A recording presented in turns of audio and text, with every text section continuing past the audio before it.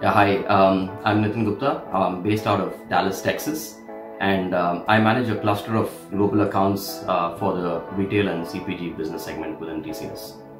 My uh, my journey with TCS has been a little bit unique and different compared to um, most of the other TCSs. TCS was not my first job out of college.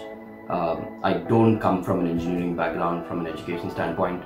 Uh, neither do I come from a technology background, right? TCS happened to me post me spending about seven to eight years um, on the business side uh, with some of the customers.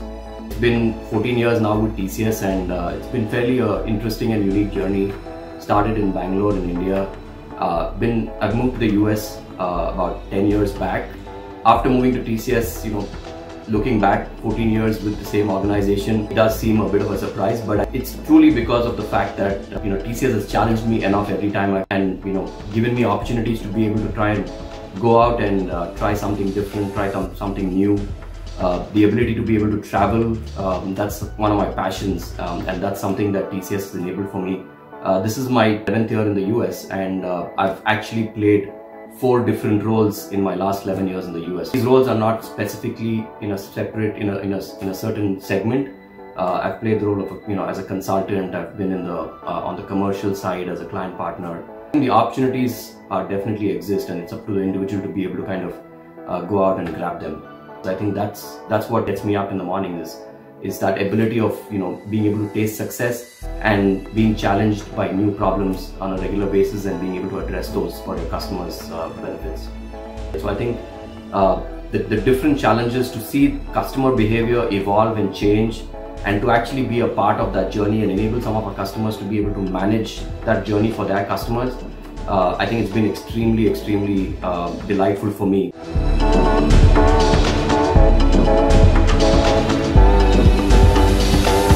Be very clear in terms of what truly you want to define in terms of you know your end goal is. Second part of it is be very patient and persistent to it.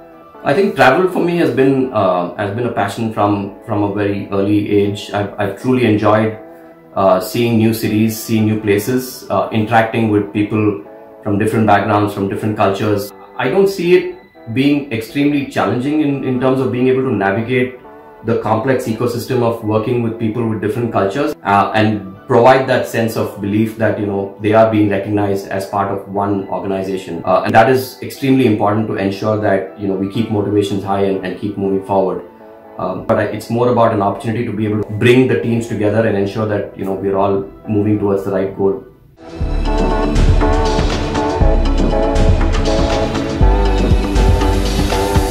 during my free time I, I like to um, spend most of my time with my family. I, I'm a big uh, sports fanatic. Uh, I, whenever I get a chance, I, I try to go out and play, um, you know, one sport at least every week. If my son is also into sports, so every time I get some free time, you know, I go out with him to the tennis courts or, you know, we go and play cricket. My son is also into soccer. Every aspect of what you do, right, be it spending time with my son helps me understand the importance of patience, um, which is also an extremely critical factor of, of any leader. Uh, so I think you know that's also very important in terms of being able to have trust and belief within the ecosystem around you, uh, right, within the team that you're playing with. Uh, and the other thing is the desire and the aggression to win, right? I think that's extremely important um, in, in any aspect of life. Uh, be very clear where you want to get to, you know, in three years or five years and uh, be patient and persistent in getting there right? Don't be discouraged by small you know falls. Uh, stay in it for the long run.